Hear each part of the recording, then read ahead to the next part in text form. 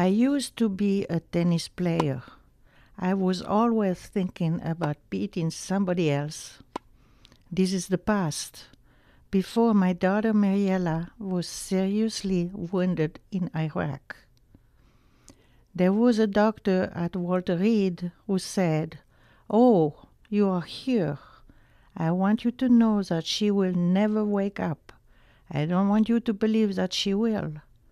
I cried that day.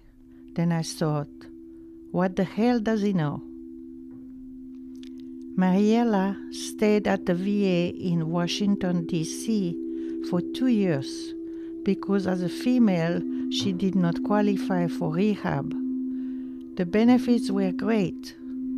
They took care of her, but I did not always feel like a place for a woman. I cried many times. Some people call Mariella a miracle. She works so hard.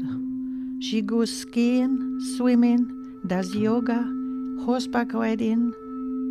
Other people with injury like hers don't have all this. Her memory is getting better. When she's in therapy with music, she remembers everything. She knows every song in the book. I try everything before she does. When she got hurt in 2004, I had already done craniosacral therapy, so I knew already exactly what she needed to do. All the physical stuff is very important, but it's also very important to do the spiritual work. Every Friday afternoon, a healer comes to our house she does energy work and plays sound music. She works with Mariella and me and my husband. I have lots of angels.